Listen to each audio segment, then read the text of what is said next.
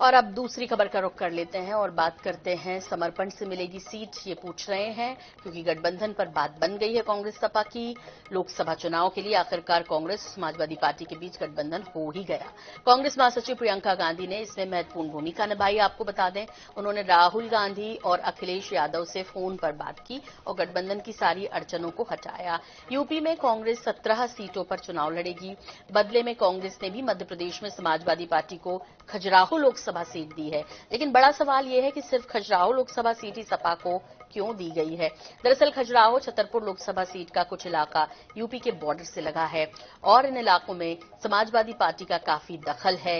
विधानसभा चुनाव के दौरान कांग्रेस के साथ सपा का गठबंधन नहीं होने के कारण दोनों पार्टियों के बीच संबंधों में कड़वाहट आ गई थी। लेकिन कांग्रेस और सपा के केंद्रीय नेतृत्व के बीच लगातार हुई बातचीत के बाद अब आखिरकार गठबंधन पर सहमति बन गई और पुरानी बातों को भुला दिया गया। वहीं बीजेपी ने कांग्रेस और समाजवादी पार्टी इस गठबंधन पर तंज भी कसा है। बीजेपी मीडिया प्रभारी आशीष अग्रवाल ने कहा कि खजुराहो सीट को लेकर कांग्रेस ने समाजवादी पार्टी को छला है। में गांधी जी का जो सपना है, वो तो अब साकार होता हुआ दिख ही रहा है, कांग्रेस का सफाया। जिस तंग दिली से उत्तर प्रदेश में समाजवादी पार्टी ने कांग्रेस को सीटें दी हैं, उसी तंग दिली से जनता जमानत जब्त कराएगी अब कांग्रेस की। और जहाँ तक खजुराहो लोकसभा सीट है, वो तो गठबंधन में कांग्रेस ने सपा को छला है।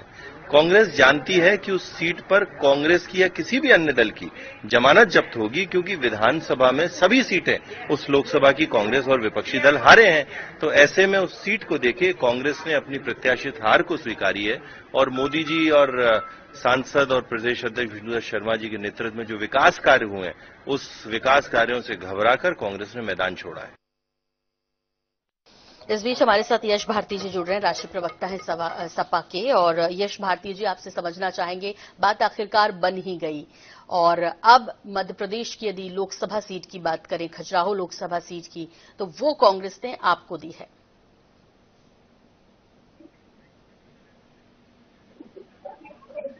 यश भारती जी आवाज़ सुन पा रहे हैं आप मेरी? हाँ मैं आगे की लाइन में आपकी नहीं सुन पाया। मैं जी जी। मैं आपसे समझना चाह रही हूँ कि आखिरकार बात बन ही गई। और मध्य प्रदेश में भी विधानसभा चुनाव के दौरान जो कुछ हुआ था, सब कुछ भुलाकर अब आगे बढ़ रहे हैं कांग्रेस के साथ।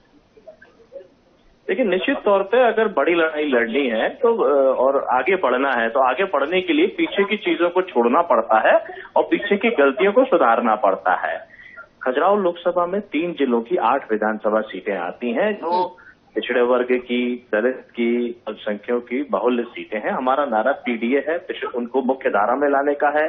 ओबीसी को सत्ताईस प्रतिशत आरक्षण देने में भारतीय जनता पार्टी की सरकार कामयाब है, जबकि लगातार पिछड़ा वर्ग बहुजन समाज उनको नेतृत्व देता रहा है लेकिन उन्होंने उनको छलने का काम किया। मैं भारतीय जनता पार्टी के मीडिया प्रभारी आशीष अग्रवाल जी को सुन रहा था। सवाल तो उनसे होना चाहिए कि जो एनडीए गठबंधन की बात कर रहे हैं 400 पार की बात कर रहे हैं वो मध्य प्रदेश में एनडीए गठबंधन को कितनी सीट देने वाले हैं?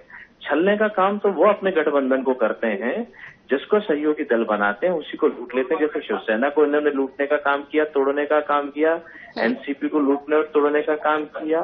और बिहार के अंदर पासवान जी की पार्टी को परिवार के अंदर ही तोड़ दिया और परिवारवाद की बात करते हैं ये वंशवाद की बात करते हैं लगातार उन्हीं लोगों के सहारे का अपनी राजनीति करें चाहे वो सिंधिया का सिंधिया वंश हो हम्म। या बिहार में अभी सम्राट चौधरी जी को उप मुख्यमंत्री बनाना हो या अन्य केंद्रीय मंत्रिमंडल में स्थान जिनको देते हैं उनकी बात करें तो ये झूठा और छलावा करने हम काम भारतीय जनता पार्टी के लोग कर रहे हैं। ये जनता को जो देने की जो चुनावी घोषणा पत्र में वादे थे वो क्यों नहीं पूरे कर रहे सवाल उसका उठता है। जी। डॉक्टर राम पांडे भी हमारे साथ हैं, कांग्रेस प्रवक्ता। डॉक्टर राम पांडे आपसे समझना चाहेंगे, जिस तरह से बीजेपी अब तंज कस रही है। देखिए ठीक है, खटास आई, फिर ठीक हुई। फिर आते आते जो है, बात बन ही गई और आखिरकार जो है, खजुराहो लोकसभा सीट पर से अब सपा अपने प्रत्याशी उतारने जा रही है। बीजेपी तंज कस रही है।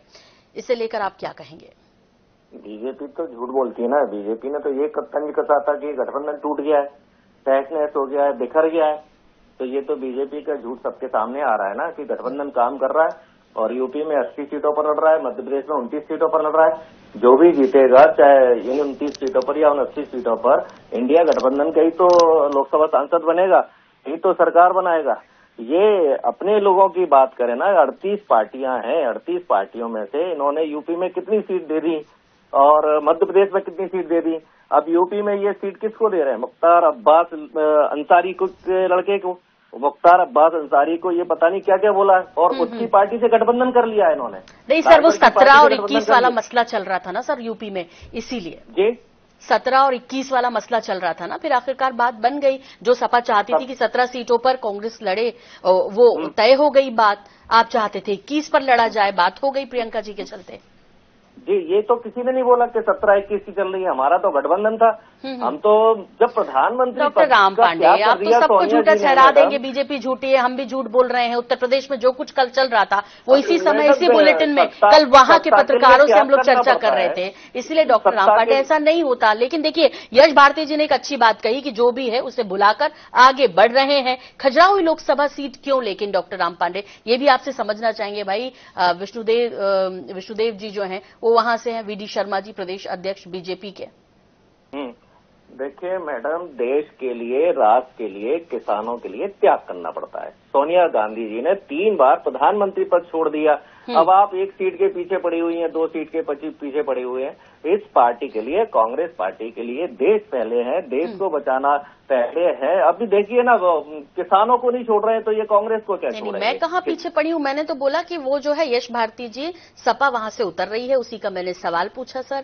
सारे घटनाक्रम हो रहे हैं उससे जुड़ी बातचीत चल रही है और वाकई में हमारे जो किसान है वो बॉर्डर पर है और जो कुछ वहाँ पर कल हुआ है उसके बाद सबसे बड़ी बात तो यही है। उससे जुड़ी खबरें भी हम आपको दिखा रहे हैं, लेकिन बहुत धन्यवाद आपका हमसे जुड़ने के लिए। यश भारती जी, आपका भी बहुत शुक्रिया हमें वक्त देने के लिए।